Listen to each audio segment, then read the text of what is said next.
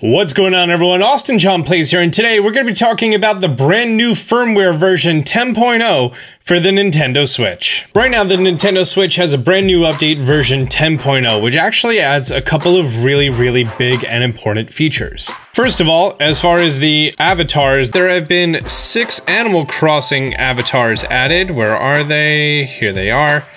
Boom, right here. Tom Nook, the Nooklings, Isabelle, Orville, CJ, and Flick. Using the news icon, you now have the option to bookmark up to 300 items. I don't know who uses the news tab, that's why you watch my channel, right? If your internal memory is getting full, you now have the option to move data between the system and the micro SD card. That also goes for if your micro SD card is getting full and you want to move stuff off of that and go to your internal memory. You can find this under data management in the system settings. This is actually game information. This is not your save data information. Your save data information is still stored on your internal memory. So this is like the actual game and the DLC. So don't think you're going to be able to transfer your save data to an SD card and then put it into another Nintendo Switch. It doesn't work that way. The biggest change between the sun now coming out, so now I'm a little blown out, is under controllers and sensors, you now have the option to custom button map. This is only supported for first party Nintendo Switch controllers, meaning the Joy-Cons, the left one, the right one, and the Pro controller.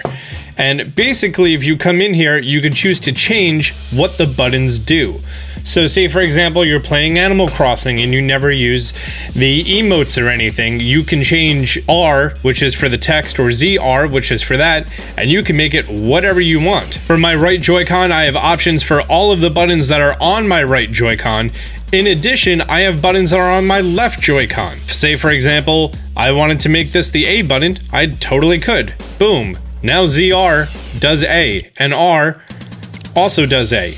Perfect. I'm never going to use those buttons anyways. Now, this is also really neat. So say, for example, you never mess with the view in Animal Crossing. You never do up, you never do down. You can actually change the right stick to the left stick.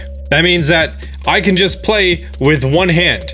Because do I actually hit anything on the left controller? I'm not really too sure that I do. Oh, the ZL to bring up my phone. Actually, you know what? I would probably want to make ZRA to make it easier to press down while my thumb is down on the right joystick. Plus is never used in the game. I could remap plus to something else. Actually, plus to ZL would probably work pretty nicely. And I can make this Y for picking up items easier while I'm walking around. Boom. When others use this console, be sure to inform them. Now you could also come in here and you can save your mapping, you can load your mapping, and you could also just reset it. So I could save this as option one, and then I can reset it and boom, done. Now it works like a regular Joy-Con. I could load my mapping. Simple as that. That's one-handed Animal Crossing. And anytime I don't want that, just hit reset. Done. Perfect. This also has a variety of other uses in other games. Uh, first thing that comes to mind is Super Smash Bros. Ultimate, and just any games for the Switch that don't utilize all the buttons, you're good to go. And then also, something really fantastic to talk about, even though the Nintendo Switch, I believe, supports the Microsoft Adaptive Touch controller. You say, for example, someone with motion difficulties in one of their two hands, you can then map all of the controls to one controller, one half Joy-Con. So, say for example, someone is unable to move their left thumb for moving around, boom, now they can do it with their right thumb, no problem. And that's it for the patch notes for the Nintendo Switch version 10.0 firmware. Uh, download it, remap your controller, have a lot of fun, make your life easier. If you enjoyed this video, be sure to hit the like button. Until next time, Austin John out.